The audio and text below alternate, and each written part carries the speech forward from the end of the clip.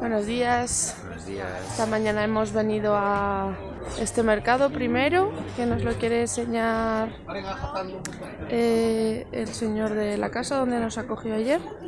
Y luego vamos a ir a otro.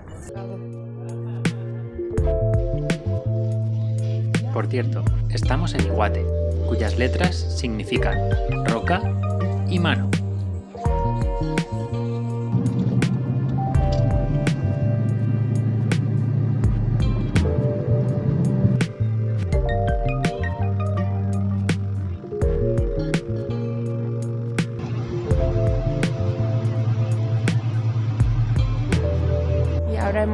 Grande grande, que aquí solo puede venir la, la gente profesional, pero como nuestro anfitrión es eh, cocinero, pues tiene un pase y nos ha dejado entrar.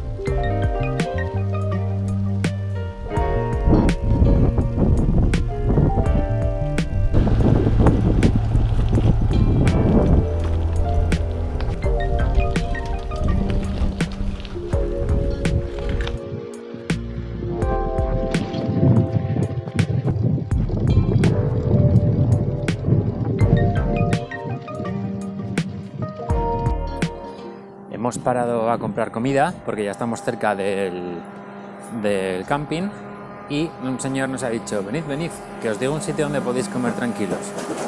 Nos ha traído a la parte de atrás del supermercado y aquí estamos, en una esquinita comiendo.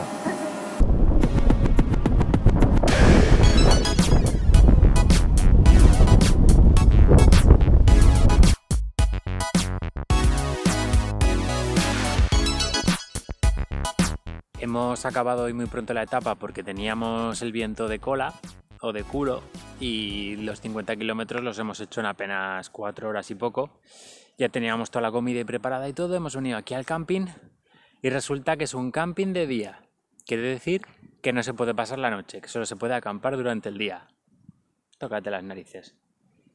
Y sí, me he cambiado de gafas de sol porque ayer vi cómo las asesinaban cruelmente pasándoles un coche por encima en un momento que se me cayeron al suelo. Una conductora asesina de gafas, con los ojos ensangrentados, le pasó la rueda por encima dejándolas hechas trizas. Así que me he comprado otras. A 7 kilómetros tenemos otro camping, vamos a ver, también gratuito.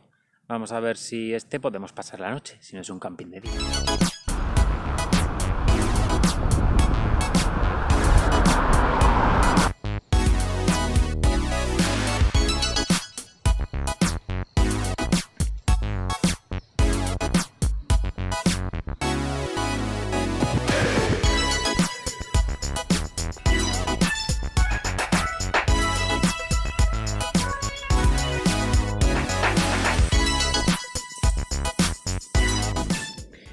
Hoy para cenar hemos comprado estos fideos con salsa de carne picada que se comen con pepino. Aquí está Irene cortando el pepino.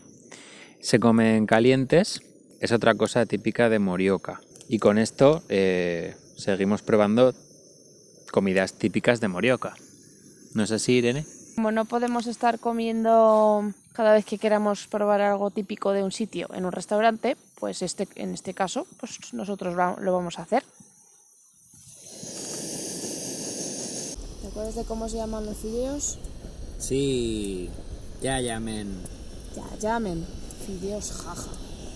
Pues ya hemos cocinado. Tenemos los fideos con pepino, brotes de soja que hemos añadido porque hemos querido, la salsa. más. más. Buenos días. Bueno, hoy para desayunar tenemos yogur, porque a veces compramos yogur así con plátano para variar un poco con el arroz. Y los problemas que tenemos son que para mezclar con el yogur teníamos pensado principalmente echar eh, cereales. cereales. Pero los cereales aquí son carísimos. Tenemos poca variedad. Súper pocas. están los de chocolate, los de azúcar y luego algunos así con, de granola con frutas y punto. Y te vas, puedes ir al supermercado más grande que encuentres, que hay tres o cuatro tipos, no hay más. Antes había más, yo creo. No sé. Los de chocolate cuestan, si tienes suerte, un euro y medio o así. Y, y luego ya los, los, de granola cuestan ya cinco euros. y aparte son súper pequeños. ¿Qué hacemos? Pues nos pasamos a las galletas y echamos unas pocas galletas. Pero las galletas cuestan un euro y poco pero los paquetes son irrisorios. O sea, Hay más plástico que galletas. Sí, sí, salen cinco galletas. si no os lo creéis, ayer, por ejemplo, compramos donuts, entonces salía una bolsa con donuts y cada donuts con su bolsita. Aquí el plástico es, venga, buffet libre de plástico. Así que yogur con plátano y donuts, mini donuts. Y por supuesto arroz, inato y humegosi. Sí, que eso, has dicho para variar del arroz, pero es para complementar. para complementar. Pues que íbamos a fregar, íbamos a recogerlo del desayuno y habíamos dejado este paquete, esta bolsa con los donuts que nos habían sobrado aquí en la mesa que habíamos montado. Vemos que se acerca un cuervo, uno de esos, que no sé si se ven, me acerco para asustarlo, para que no nos coja nada y efectivamente, el listo del cuervo ha cogido la bolsa de los donuts y se ha ido volando. Qué cabrón. y le he perseguido para a ver si soltaba la bolsa. Ha soltado la bolsa, pero aquí solo hay cuatro donuts y había seis. O sea que el cuervo se ha llevado y se ha comido dos de los donuts que nos habían sobrado. Ten cuidado con los cuervos en Japón.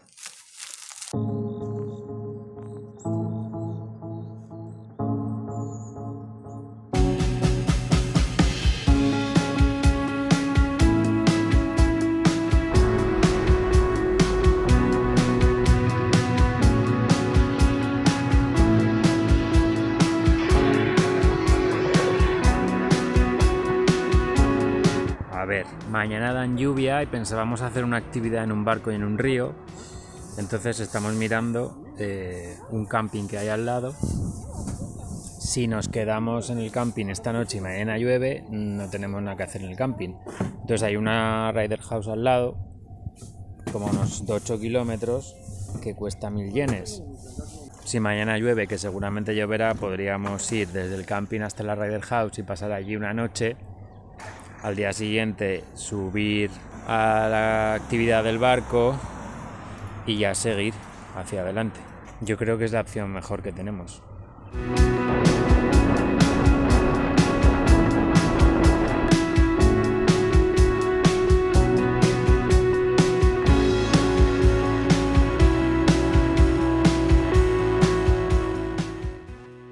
Hoy hemos hecho pocos kilómetros, unos 30 o así, Hemos ido al supermercado a comprar comida y estamos en este camping gratuito.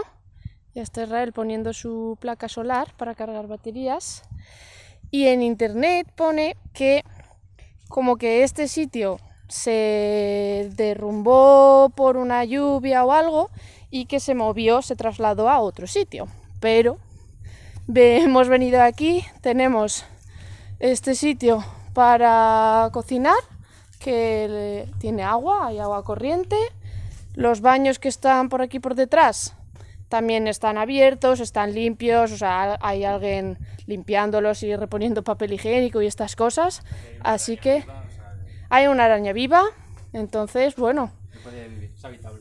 es habitable. También pone que hay eh, serpientes venenosas, que no nos metamos por los arbustos y por ahí, sí. Así que aquí nos vamos a quedar.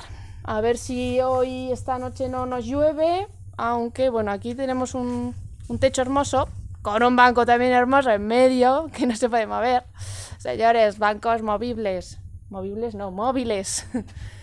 y en la puerta del baño también hay un trozo de techo y ahí sí que cabríamos, aunque pues, si viene gente, pues está feo ponernos ahí nuestra tienda en la puerta del baño. Pero bueno, ya veremos qué hacemos. Primero a comer. Vale. Esto es un onigiri, que es muy típico aquí en Japón, que es básicamente arroz con alguna bola de arroz con algo en el interior y por fuera lleva alga nori. Entonces, si pones el alga nori con el arroz, se queda blanda y ya pierde la gracia. Por eso han inventado esta técnica, que consiste en dos plásticos, uno que contiene el alga nori y el otro el arroz. Y si sigues las instrucciones de 1,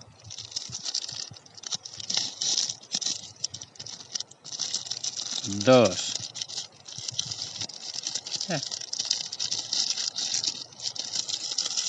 y 3, ¿veis cómo el alga nori está separada del arroz? Te queda el onigiri, está roto,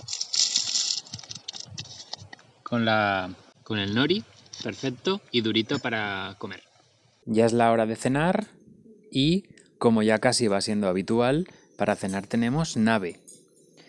¿Qué es el nave? Bueno, pues nave es en una cacerola con una con un caldo, en este caso picante, se añaden verduras y se dejan que cocinen.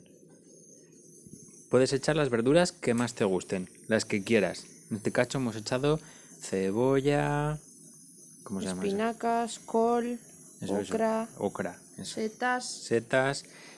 Ahora tofu frito. y luego echaremos fideos. Y es una cena muy nutritiva que te calienta, que está rica y, y barata, porque puedes echar cosas baratas que estén de oferta. Y nave significa cazuela, literalmente. Como decir, puchero. Un tipo de, de cocina que, bueno, hay muchos caldos y muchos tipos, pero en genérico se llama nave.